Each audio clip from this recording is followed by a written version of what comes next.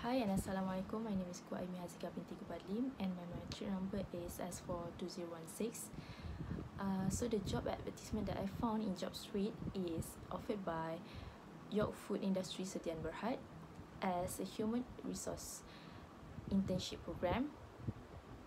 So I think I am suitable to be in this company because I am a food technology student and the company is located in Senai Johor.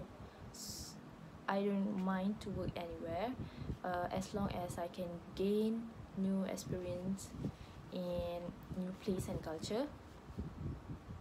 So the job description is um, univers university degree in related field good command of English and the internship period is about three to six months so as a degree food technologist I think I am suitable because Yoke food industry is um is a food field company.